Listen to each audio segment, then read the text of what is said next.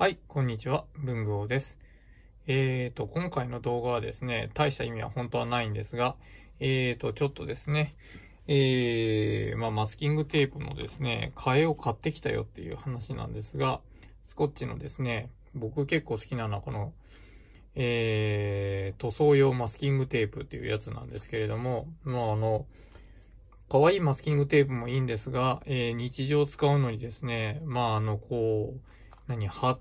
能力的にはですね、業務用のやつの方が、まあ、要は表面に印刷とかをかけてない分だけ、こっちの方がですね、密着性が良かったりとかするんで、好きなんですけれども、ということでですね、えっ、と、大体こうやって束で買ってきてですね、普通に使うと、まあ、だんだんなくなっていくわけですけれども、ヨドバシカメラで580円っていうので売ってました。っていうのでですね、買ってきた10、え、まあ、これ15ミリ幅のやつをですね、えー、まあ買ってきたわけですが、まそれはいいんです。で、まあ普通に開封しようと思ったところがですね、よく見るとここです。当たりが出たらプレゼント申請中って書いてあるんですよ。当たり？と思って、こう、いろんなところを見たんですけれども、でね、見ていくとですね、ここ、ここです。ここにテープとテープの間にドーナツ状の当たりくじが入っています。入っていない場合は外れですって書いてあるんですよ。んで、まあ、あの、どうせ開けるんですけれども、まあ、ね、当たりが入ってるかどうかはわかりませんが、どうせ開けるので、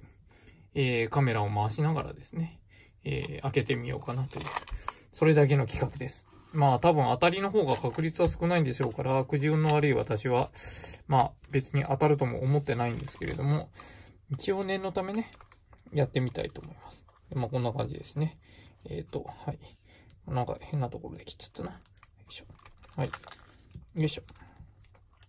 はいはい。という感じで、はい。っていう、このフィルムを取りました。じゃらん。じゃじゃん。入ってないですね。次行きますよ。ダン、ない。ダン、ない。ダン、ない。さて、あと4つ。は、は、は。残念、ありませんでした。ということでですね、どんなものが入っているのか結局わからず。ですが、まあね、えー、まあ、いつもの感じのですね、僕、じゃんけんとかもすっごい弱いので有名なんですけども、えーと、くじ運の悪さはですね、えー、まあ、折り紙付きなので、えー、そういう意味ではですね、この当たりくじが当たる確率以下の、まあ、あれだとは思いますので、まあ、こんなところで運使わなくてもいいやと思うわけですが、えー、まあね、ああ、なんか、これで万が一入ってたりしたら面白いかなと思って撮ってみましたが、えーとですね、あのー、まあ、これね、そもそもマスキングテープっていうのは何だったのかっていうかですね、あのー、よく言うじゃないですか。あのー、なんかその、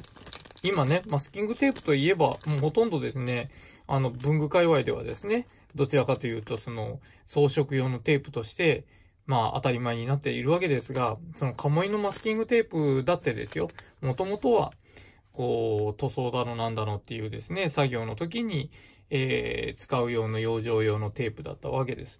で、まあ、マスクするっていうことでマスキングテープですね。なので、えー、まあ、塗装とかペンキとかがつついたら困るようなところに、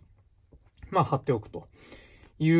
うものなので、まあ、下地を保護するためのテープなので、もちろんこれ貼った時はともかくですけど、剥がす時にも下地を傷めてはいけないということで、貼って剥がせる糊なんですね。で、あのー、まあ、あのー、昨日の動画でやりましたけれども、このアクリル系の接着剤が使っていますよ、ということですね。機材、黄色平面紙って書いてありますけど、まあ和紙系のテープを使っていますよという感じですね。えー、ということで、まあこういうですね、えー、紙を使ったタイプのベースの、えー、テープになってます。まあ、これ密着性、伸縮性ともにですね、こういうやっぱり業務用のやつがいいですね。僕はあの、この黄色のスコッチなんかはすごい好きで、よく、えー、束買いしますということですね。な感じなんですけれども、というところでですね、えー、ここに入れていきたいなと思います。で、よいしょ。あのー、昨日のあのテープですね。えっ、ー、と、スコッチのですね、えー、後から剥がせるテープですね。えっ、ー、と、どこだっけ？このテープ。このテープですけども、あ、1個あれですね。これ、あの、日版の直線美には、こいつはダメですね。えっと、やっぱあの、直線美はもともとセロハンテープに、えー、最適化して作られているので、ちぎれる系のテープじゃないとダメなんですね。なので、えー、避けない、避ける系のテープじゃないとこっちには向かないので、これちょっとダメでしたね。ということで、えー、これを使うときはですね、あの、国用のカルカットとかですね。まあもちろんスコッチのテープカッターももちろん使えるんですけれども、そういうのを使うといいかなと思います。で、えっ、ー、と、まあ私はいつもあの、この直線美にですね、この 3M の黄色いマスキングテープっていうのが、えー、デスクにはですね、割かし、えー、スタンダードにですね、いつも置いてあるテープの1個になってますということなので、えー、普段使いのテープがなくなると、やっぱりね、あの、精神衛生上良くないので、えー、こうやってですね、いつも常にストックがあるような状態で買ってきますと。いうお話でした。で、買ってきたらですね、当たりが出たらプレゼントキャンペーンをやっているということに、今日初めて気がついたんですけど、いつからやってたんですかね。いつもバリバリ破って、あの何も考えずにこの袋捨てちゃうので、全然気がついていませんでしたということですが、まあもしね、今後、えー、この買うことがあればですね、皆さんもですね、えー、気をつけといていただければと思います。ということで、